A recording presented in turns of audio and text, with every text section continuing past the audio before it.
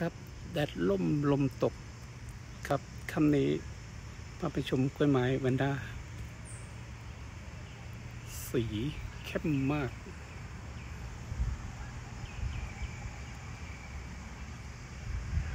สีน้ำตาลเข้มครับ ช่อนี้มีสิบสิบดอก หน้าฝนพฤษภาคมครับ บรรดาก็ให้ชงออกดอก ให้ชม เป็นต้นไม้ที่สวยปลูกง่ายเลี้ยงง่ายครับ เป็นรากอากาศปลูกติดกับต้นไม้ ก็จะออกดอกให้ชม ช่อหนึ่งก็จะมีเก็บสิบดอกครับ ดอกใหญ่ ใหญ่กว่าฟ้ามุ้ย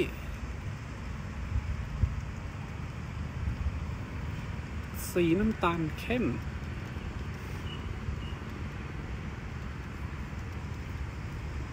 ยังเหลือให้ชมครับ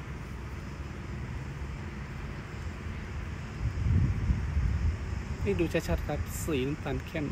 มีห้ากีบหนึ่งสองสามสี่ห้าหาชมได้ยากมาก สีนี้น้ำตาลเข้มอยู่ในกลุ่มของแวนด้า เป็นต้นไม้ประเภทรากอากาศปลูกกับขอนไม้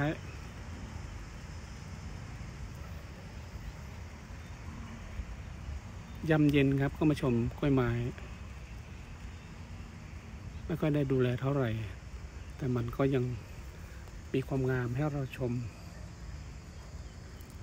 สวยจริง ๆ ครับ ถ้าใครว่าไม่สวยนี่ก็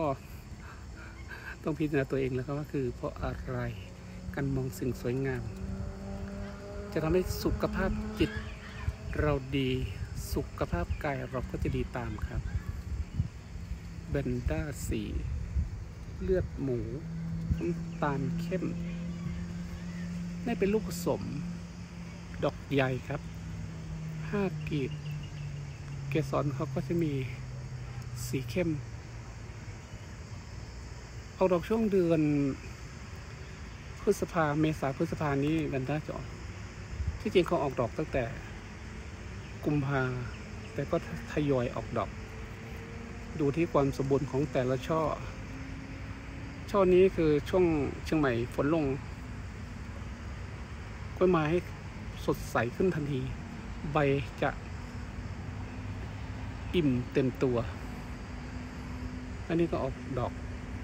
ออกดอกเต็มเลย